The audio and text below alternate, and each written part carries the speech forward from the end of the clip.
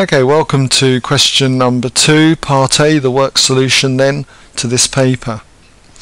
So first of all I've copied down what f of x is and we've got to simplify this. So I'm going to put an identical sign and with something like this we notice that this quadratic expression underneath this fraction can be factorized.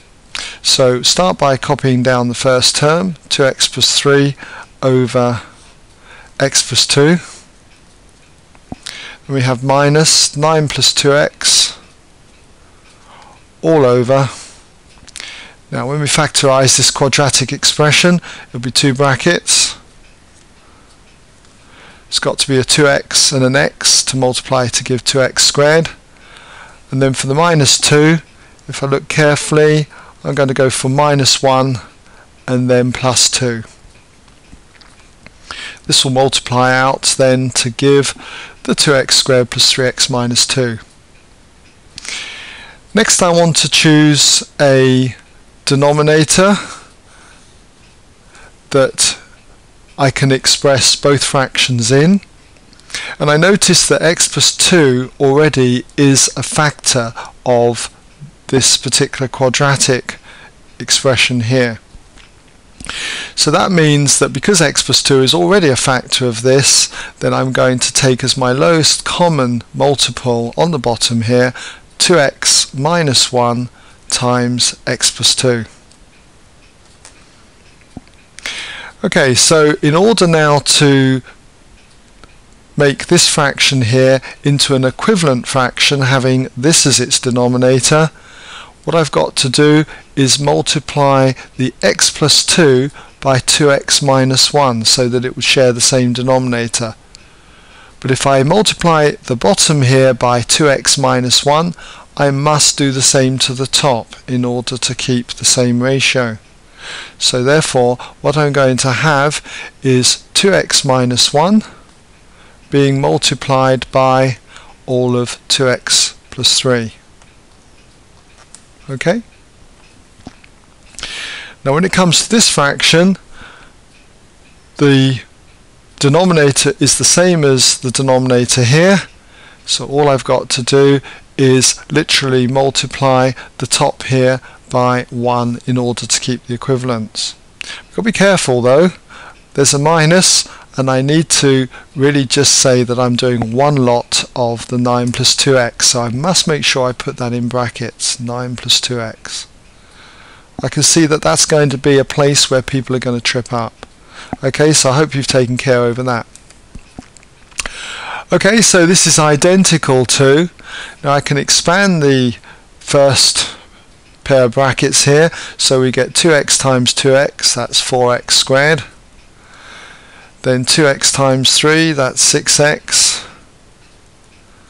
Minus 1 times 2x, minus 2x. And minus 1 times 3, that's negative 3.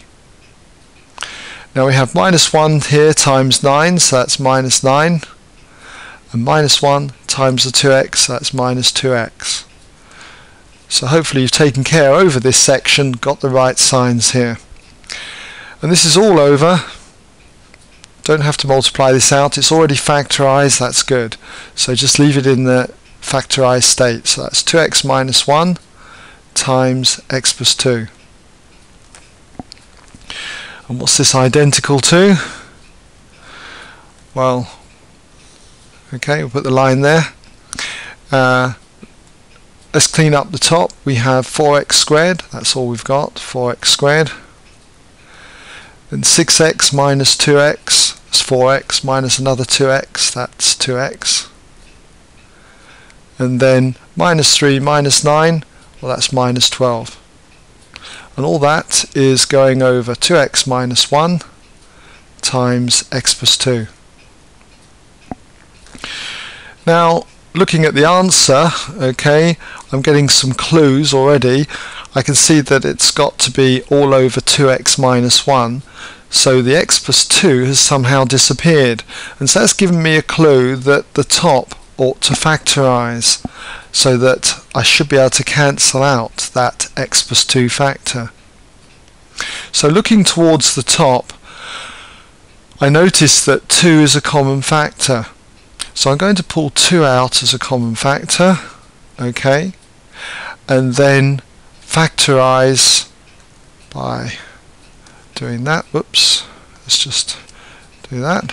So inside would go 2x squared and then plus x minus 6 and that will all be over 2x minus 1 x plus 2 okay having problems with these brackets by the looks of it. There you go.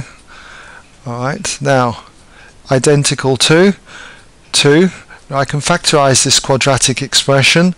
So if we factorize that couple of brackets I say I'm assuming it's going to factorize if that x plus 2 is to cancel so Okay, now knowing that I'm looking for an x plus 2 to uh, cancel out, that's given me a few clues as well.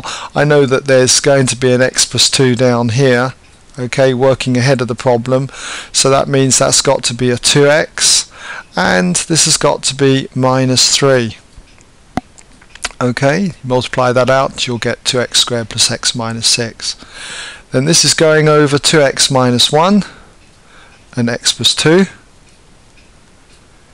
and you can see that x plus 2 is a common factor so we can cancel that out. It's just go goes into that once x plus 2 into x plus 2 also goes once.